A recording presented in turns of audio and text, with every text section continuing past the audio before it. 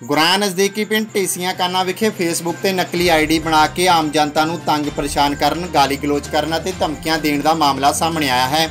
ਇਸ ਸੰਬੰਧੀ ਬਲਾਕ ਸੰਮਤੀ ਮੈਂਬਰ ਤਰਸੀਮ ਸਿੰਘ ਦੀ ਅਗਵਾਈ ਵਿੱਚ ਪਿੰਡ ਵਾਸੀਆਂ ਵੱਲੋਂ ਕੀਤੀ ਗਈ ਇੱਕ ਪ੍ਰੈਸ ਕਾਨਫਰੰਸ ਵਿੱਚ ਉਹਨਾਂ ਜਾਣਕਾਰੀ ਦਿੰਦੇ ਹੋਏ ਦੱਸਿਆ ਕਿ ਫੇਸਬੁੱਕ ਤੇ ਇੱਕ ਸੋਹਣ ਸਿੰਘ ਨਾਮ ਦੀ ਆਈਡੀ ਤੋਂ ਉਹਨਾਂ ਨੂੰ ਬਹੁਤ ਹੀ ਗਲਤ ਕਮੈਂਟ ਤੇ ਮੈਸੇਜ ਕੀਤੇ ਜਾ ਰਹੇ ਸਨ, ਜਿਸ ਕਾਰਨ ਪਿੰਡ ਵਿੱਚ ਮਾਹੌਲ ਕਾਫੀ ਤਣਾਅਪੂਰਨ ਬਣ ਗਿਆ ਸੀ, ਜਿਸ ਤੋਂ ਦੁਖੀ ਹੋ ਕੇ ਉਹਨਾਂ ਨੇ ਐਸਐਸਪੀ ਜਲੰਧਰ ਨੂੰ 25 ਮਾਰਚ 2019 ਨੂੰ ਉਕਤ ਵਿਅਕਤੀ ਖਿਲਾਫ ਕਾਰਵਾਈ ਕੀਤੇ ਜਾਣ ਦੀ ਮੰਗ ਕੀਤੀ ਸੀ। ਜਿਨ੍ਹਾਂ ਨੇ ਇਹ ਦਰਖਾਸਤ ਟੈਕਨੀਕਲ ਸੈੱਲ ਨੂੰ ਭੇਜ ਦਿੱਤੀ ਸੀ ਅਤੇ ਇਸ ਮਹੀਨੇ ਦਰਖਾਸਤ ਮਾਰਕ ਹੋ ਕੇ ਪੁਲਿਸ ਚੌਂਕੀ ਰੁੜਕਾ ਕਲਾਂ ਵਿਖੇ ਪਹੁੰਚ ਚੁੱਕੀ ਹੈ। ਉਹਨਾਂ ਮੰਗ ਕੀਤੀ ਕਿ ਉਕਤ ਦੋਸ਼ੀਆਂ ਖਿਲਾਫ ਜਲਦੀ ਕਾਰਵਾਈ ਅਮਲ ਵਿੱਚ ਲਿਆਂਦੀ ਜਾਵੇ। ਇਸ ਮੌਕੇ ਤਰਸੇਮ ਸਿੰਘ, ਮੈਂਬਰ ਬਲਾਕ ਸੰਮਤੀ, ਬਹਾਦਰ ਸਿੰਘ, ਪਰਮਜੀਤ ਸਿੰਘ, ਲਖਵਿੰਦਰ ਸਿੰਘ, ਹਰਭਜਨ ਰਾਮ, ਮੱਖਣ ਰਾਮ, ਸਾਬਕਾ ਪੰਚ, ਚਰਨਜੀਤ ਸਿੰਘ, ਪ੍ਰਦੀਪ ਸਿੰਘ ਢੇਸੀ ਬਲਰਾਜ ਸਿੰਘ, ਚੂੜ ਸਿੰਘ, ਰੇਸ਼ਮ ਲਾਲ ਆਦ ਹਾਜ਼ਰ ਸਨ। ਇਸ ਸੰਬੰਧੀ ਜਦੋਂ ਪੁਲਿਸ ਚੌਂਕੀ ਰੁੜਕਾ ਕਲਾ ਦੇ ਇੰਚਾਰਜ ਗੁਰਸ਼ਨ ਸਿੰਘ ਨਾਲ ਗੱਲਬਾਤ ਕੀਤੀ ਗਈ ਤਾਂ ਉਹਨਾਂ ਨੇ ਦੱਸਿਆ ਕਿ ਤਰਸੇਮ ਸਿੰਘ ਦੀ ਦਰਖਾਸਤ ਤੇ ਟੈਕਨੀਕਲ ਸੈੱਲ ਨੇ ਜੋ ਰਿਪੋਰਟ ਭੇਜੀ ਸੀ, ਉਸ ਦੇ ਅਨੁਸਾਰ ਦੋ ਮੋਬਾਈਲ ਨੰਬਰ ਜੋ ਕਿ ਰਾਜਾ ਸਿੰਘ ਪੁੱਤਰ ਕਾਬਲ ਸਿੰਘ, ਪ੍ਰਦੀਪ ਕੁਮਾਰ ਪੁੱਤਰ ਕੁਲਦੀਪ ਰਾਜ ਦੋਨੋਂ ਵਾਸੀ ਢੇਸੀਆਂ ਕਾਨਾ ਨਾਲ ਸੰਬੰਧਿਤ ਹਨ, ਜਿਨ੍ਹਾਂ ਨੂੰ ਬੁਲਾ ਕੇ ਬਿਆਨ ਦਰਜ ਕਰ ਲਏ ਹਨ ਅਤੇ ਅਗਲੇਰੀ ਕਾਰਵਾਈ ਲਈ ਡੀਏ ਲੀਗਲ ਨੂੰ ਰਿਪੋਰਟ ਭੇਜ ਦਿੱਤੀ ਗਈ ਹੈ, ਜਿਸ ਦੀ ਰਿਪੋਰਟ ਦੇ ਆਧਾਰ ਤੇ ਅਗਲੀ ਕਾਨੂੰਨੀ ਕਾਰਵਾਈ ਅਮਲ ਵਿੱਚ ਲਿਆਂਦੀ ਜਾਵੇਗੀ। ਮੈਂ ਤਸੀਲ ਸਿੰਘ ਬਲਾਕ ਸੰਮਤੀ ਮੈਂਬਰ ਪਿੰਡ ਢੇਸੀਆਂ ਕਹਿੰਦਾ ਵਾ ਅਸੀਂ ਸਾਡੇ ਪਿੰਡ ਇੱਕ ਕਿਸੇ ਜਾਲੀ ਬੰਦੇ ਨੇ ਸੋਹਣ ਸਿੰਘ ਨਾਂ ਤੇ ਇੱਕ ਗਲਤ ਆਈਡੀ ਬਣਾਈ ਹੋਈ ਸੀ। ਜਦੋਂ ਅਸੀਂ ਪਾਰਟੀ ਦੀ ਕੋਈ ਵੀ ਸਰਗਰਮੀ ਕਰਦੇ ਸੀ, ਜਾਂ ਦਾਣਾ ਵੰਡਦੇ ਸੀ, ਜਾਂ ਕਿਤੇ ਰੈਲੀ ਤੇ ਜਾਂਦੇ ਸੀ, ਉਹ ਸਾਨੂੰ ਸਾਨੂੰ ਬਹੁਤ ਥੱਲੇ ਗਾਲੀ ਗਲੋਚ ਕਰਦਾ ਸੀ। ਉਹ ਅਸੀਂ ਐਸਐਸਪੀ ਸਾਹਿਬ ਦੇ ਇੱਕ ਰਿਪੋਰਟ ਦਿੱਤੀ ਸੀ ਵੀ ਸਾਨੂੰ ਬੰਦਾ ਲੱਜ ਕੇ ਦਿੱਤਾ ਜਾਵੇ। ਐਸਐਸਪੀ ਸਾਹਿਬ ਨੇ ਸਾਡੀ ਬਹੁਤ ਮਦਦ ਕੀਤੀ ਆ, ਉਹਨੇ ਤਕਨੀਕੀ ਸੈੱਲ ਨੂੰ ਦਿੱਤਾ। ਤਕਨੀਕੀ ਸੈੱਲ ਨੇ ਅਮਰੀਕਾ 'ਚੋਂ ਆਈਡੀ ਬਣ ਕੇ ਵਿਦ ਪ੍ਰੂਫ ਆਈ ਆ।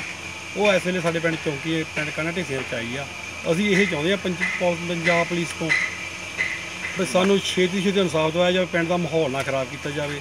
ਸਾਡੇ ਤੇ ਪ੍ਰੈਸ਼ਰ ਐਡ ਬਹੁਤ ਕਰ ਰਹੇ ਆ ਬੰਦੇ।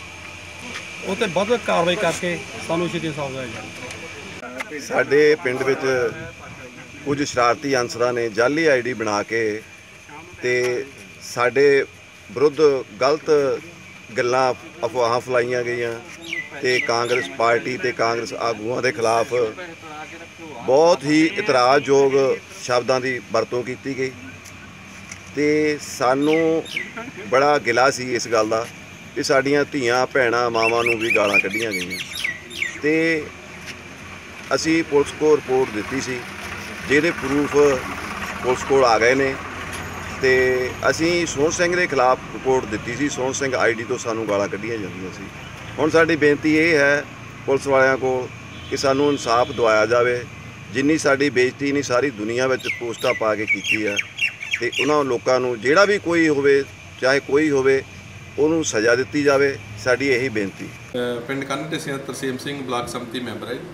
ਇਹਨੇ ਇੱਕ ਦਰਖਾਸਤ ਦਿੱਤੀ ਸੀ ਵੀ ਕਿਸੇ ਵਿਅਕਤੀ ਵੱਲੋਂ ਆਪਣੀ ਫੇਸਬੁੱਕ ਆਈਡੀ ਸੋਹਣ ਸਿੰਘ ਦੇ ਨਾਮ ਤੇ ਬਣਾ ਕੇ ਉਸ ਨੂੰ ਗੰਦੀਆਂ ਗਾਲਾਂ, ਕੱਢੀਆਂ ਜਾ ਰਹੀਆਂ ਗਾਲੀ ਗਲੋਚ ਕੀਤਾ ਜਾ ਰਿਹਾ ਜਿਹੜੀ ਇਹ ਦਰਖਾਸਤ ਟੈਕਨੀਕਲ ਸੈੱਲ ਜਲੰਧਰ ਨੂੰ ਪੜਤਾਲ ਲਈ ਭੇਜੀ ਗਈ ਸੀ, ਜਿਨ੍ਹਾਂ ਨੇ ਆਪਣੀ ਪੜਤਾਲ ਦੌਰਾਨ ਇਹ ਕਲੀਅਰ ਕੀਤਾ ਹੈ ਕਿ ਸੋਹਣ ਸਿੰਘ ਨਾਮ ਦੀ ਜਿਹੜੀ ਫੇਸਬੁੱਕ ਆਈਡੀ ਹੈ, ਮੋਬਾਈਲ ਨੰਬਰ 9464 681362 ਰਾਹੀਂ ਵੈਰੀਫਾਈ ਹੋਈ ਹੈ ਅਤੇ ਮੋਬਾਈਲ ਨੰਬਰ 98770 32082 ਰਾਹੀਂ ਲੌਗਇਨ ਕੀਤੀ ਗਈ ਹੈ।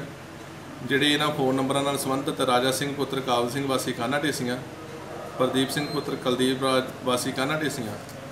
ਇਹਨਾਂ ਨੂੰ ਬੁਲਾ ਕੇ ਦਰਿਆਫਤ ਕੀਤੀ ਗਈ ਆ। ਜਿਨ੍ਹਾਂ ਨੇ ਇਹਨੂੰ ਮੰਨਿਆ ਆ, ਆਪਣੇ ਬਿਆਨ ਦਰਜ ਕਰਾਏ ਦਰਖਾਸਤ ਦੀ ਜਿਹੜੀ ਹੋਰ ਪੜਤਾਲ ਬਾਕੀ ਆ।